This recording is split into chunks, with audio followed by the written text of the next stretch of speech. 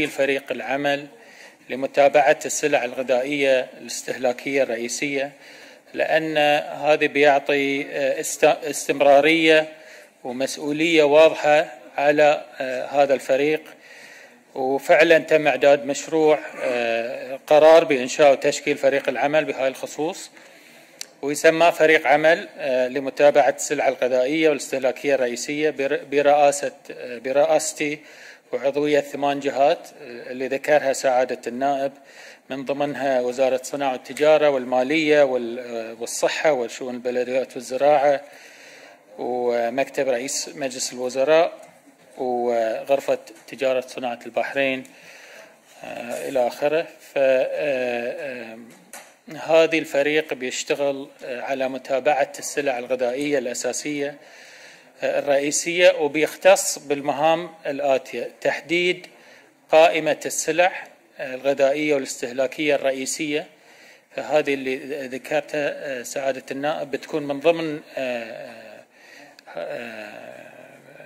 مهام هذا الفريق. ثانيا متابعة والرصد الحركة في الأسواق للسلع الغذائية الاستهلاكية الرئيسية.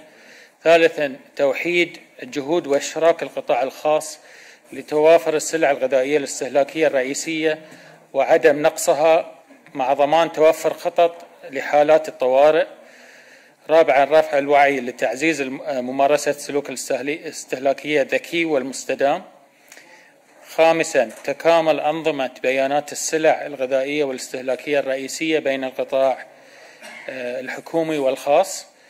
وسادسا وأخيرا متابعة تنمية وتطوير إنتاج السلع الغذائية الاستهلاكية الرئيسية الوطنية وطبعا آه، السلع آه، أسعار السلع تتابع بشكل يومي من وزارتنا. فبغيت أكد مرة ثانية لسعادة النائب ولمجلسكم الموقر أن مشروع القرار حاليا آه، في المراحل آه، النهائية.